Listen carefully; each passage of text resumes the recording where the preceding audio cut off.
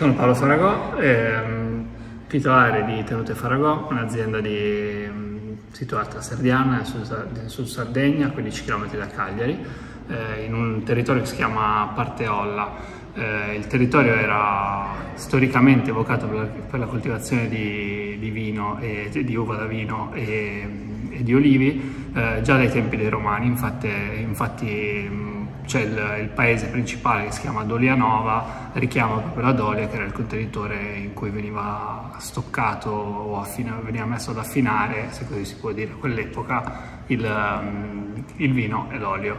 Um, ho iniziato, ho intrapreso un percorso nel mondo, nel mondo del vino a partire dal, dal, 2017 in cui ho fatto il corso, il corso da sommelier, sono diventato sommelier nel 2020 e ho deciso di di iniziare a produrre vino nel 2021. Ho acquistato 15 ettari, dei quali 6,5 vitati, eh, solo con uvaggi autoctoni, solo con, con l'idea di vinificarli solamente in purezza. Dalla 2021, che è la prima, mia, la prima annata che è andata in bottiglia,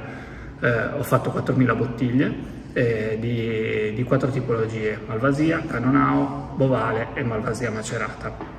Ho deciso appunto di lavorare, come dicevo prima, ehm, uvaggi autoctoni vinificati in purezza. La Malvasia è il, uno dei, dei, tre bianchi che, che vinifichiamo. È un uvaggio aromatico, quindi la difficoltà di vinificare secca un uvaggio aromatico è quello di cercare di dargli un po' di, un po di eleganza e di non renderlo succhevole. Eh, vinifichiamo questa, queste uve mh, mm, vendemmiandole anticipatamente, quindi cercando di preservare e di mantenere un pochino di, ehm, di freschezza per via della non completa maturazione degli, degli zuccheri e, mh, raccogliamo queste uve, le vinifichiamo in bianco, quindi nel momento in cui le uve arrivano in cantina vengono refrigerate eh, all'interno di una cella frigo per una notte, vengono lavorate l'indomani e ehm,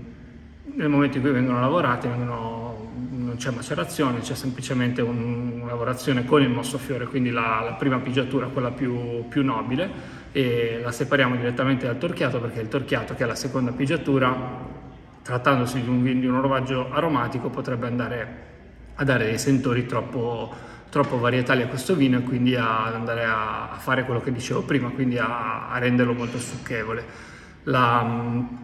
il colore, come, come, si può vedere da, già dalla bottiglia, è un colore dorato con qualche riflesso verdolino nel calice. Eh, il riflesso verdolino è dato appunto dalla non completa maturazione delle uve, mentre il colore dorato è dato dalla, da quello che è un caratteristico colore della, della malvasia vinificata secca.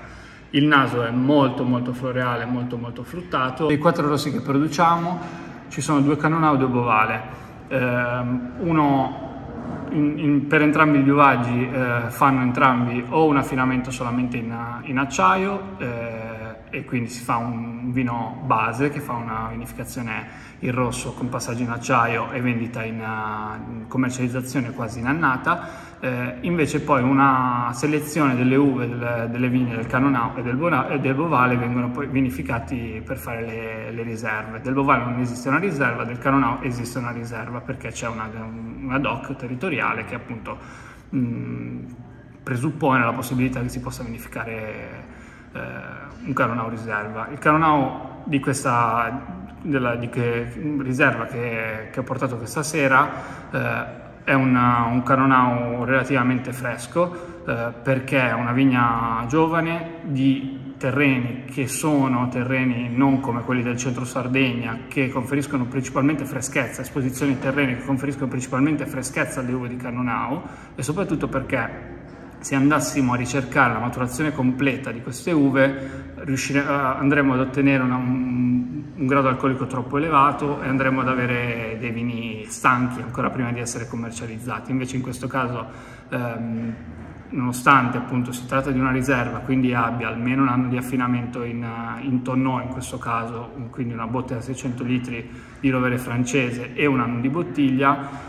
questo, questo tipo di vinificazione non va comunque a, a, dar vita a un vino stucchevole e pesante perché appunto, eh, come dicevo prima, i terreni e le esposizioni del Canonau del Sud Sardegna, che sono totalmente diverse rispetto a quelle del Nord Sardegna, riescono a dare freschezza a, al prodotto finale. Questo per via principalmente dei terreni molto calcarei e quindi che, che, danno, che conferiscono alle uve delle caratteristiche molto minerali, molto, molto balsamiche. Nello specifico